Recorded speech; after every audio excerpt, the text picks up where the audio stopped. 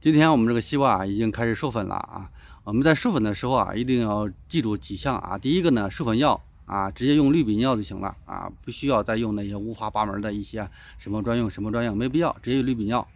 啊。然后呢，我们兑水稀释的时候啊，严格按照温度啊，就是按照厂家说明书上在什么样的温度兑多少水啊，这个量啊去实施啊。第三个呢，我们在授粉的时候啊，就尽可能的上午十点之前。下午呢，啊四点之后，就温度不是太高的时候，啊去进行授粉，也就是光照不是特别强的时候，啊这样的一个时间点啊，这是一个。还有一个呢，啊就是我们留瓜，啊就是哪些瓜该喷，哪些瓜不行不要，啊尽可能西瓜呢在十片叶以上啊我们留瓜，这是一个啊。再一个呢，我们留瓜的时候啊，就是第一个瓜呢，我们尽可能不要去留，留第二个瓜啊，一般就是在第十二片叶、第十三片叶的时候。就开始出现第二个瓜了，